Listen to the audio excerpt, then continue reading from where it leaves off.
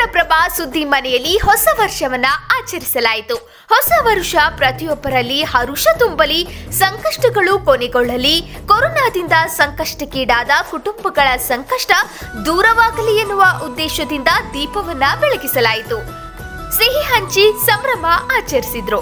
ಈ ವೇಳೆ ಉತ್ತರ ಪ್ರಭಾ ಬಳಗದ ಮುಖ್ಯಸ್ಥರಾದ ರವಿಕಾಂತ್ ಅಂಗಡಿ, ಸಂಪಾದಕಿ ಲಕ್ಷ್ಮಿ ಅಂಗಡಿ, ಗೌರವ ಸಂಪಾದಕ ಸಿದ್ದು ಯಾಪಲ್ ಪರವಿ ಕಾರ್ಯನಿರ್ವಾಹಕ ಸಂಪಾದಕ ಎನ್ಟಿ ಪೂಜಾರ್, ಸುದ್ದಿ ಸಂಪಾದಕ ನೂರ್ ಅಹಮದ್ ಮಕಾಂದಾರ್, ಕಾರ್ಯಕ್ರಮ ವಿಭಾಗದ ಡಾಕ್ಟರ್ ಬಿಡಿ ತಳವಾರ್, ಜಾಹೀರಾತು ವಿಭಾಗದ ಅಶೋಕ್ ಕುಲಕರ್ಣಿ, ಹುಸೇನ್ ನದಾಫ್, ಸದಾನಂದ, ಪ್ರಶಾಂತ್ ಜಡಿಮಠ್, ರಜಿಯಾ ಬೇಗಂ, ರಾಕೇಶ್, ಲಕ್ಷ್ಮಿ ಸೇರಿದಂತೆ ಇತರರು ಇದ್ದರು.